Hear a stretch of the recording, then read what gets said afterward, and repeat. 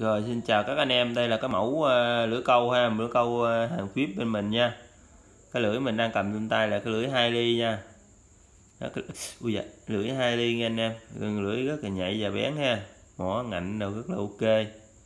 Đó, thép lò xo siêu cứng siêu vô lực nha. Cá 2 3 kg là bình thường.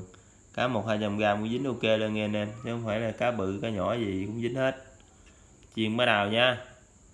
Đó. Lưỡi rất là ok mẫu này là mẫu mới bên mình nha anh em mẫu mới nè để mình mình quay kỹ cho anh em xem cái mẫu nè.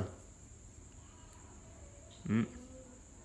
thì lưỡi lưỡi đang đang là lưỡi năm phân năm phân nha cái lưỡi này như năm phân. Ừ. Dạ, lưỡi này chở cũng rất là nhanh nha anh em. Đó lưỡi cá táp chở việc rất là nhanh.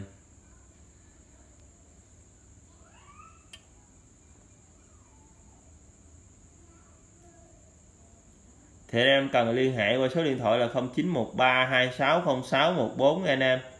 Đó, số điện thoại đó cũng là số Zalo luôn. Anh em cứ nhắn tin qua Zalo số đó cũng được, ha. Các bạn nhắn tin qua Zalo số đó cũng được, hoặc điện thoại trực tiếp số đó cũng được nha. Thì à, cho địa chỉ mình sẽ gửi hàng tới nơi, ha. Thì một lưỡi 200 ngàn, phí ship thì 26 ngàn một lần ship.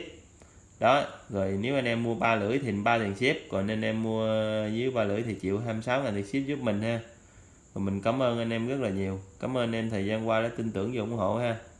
Thì nhớ đăng ký kênh ủng hộ để ông để xem những clip mới nhất anh em. Thì bên mình chuyên cung cấp về phụ kiện uh, đi câu nè. Thì anh em có nhu cầu thì alo. Mình sẽ để số điện thoại ở dưới clip. Vào trong mô tả nội dung thì sẽ có một số mặt hàng lưỡi câu khác. Thì anh em muốn nhu cầu thì vô đó xem.